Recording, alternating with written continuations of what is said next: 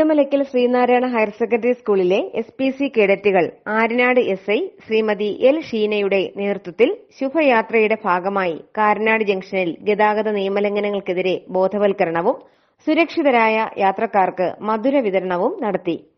ഗതാഗത നിയമങ്ങൾ പാലിക്കേണ്ടതിന്റെ ആവശ്യകതയെക്കുറിച്ചും സുരക്ഷിതവും അപകടരഹിതവുമായ ശുഭയാത്ര നടത്തുന്നതിനു വേണ്ടിയുള്ള അറിവുകൾ കുട്ടികളുമായി എസ് ഐ പങ്കുവച്ചു.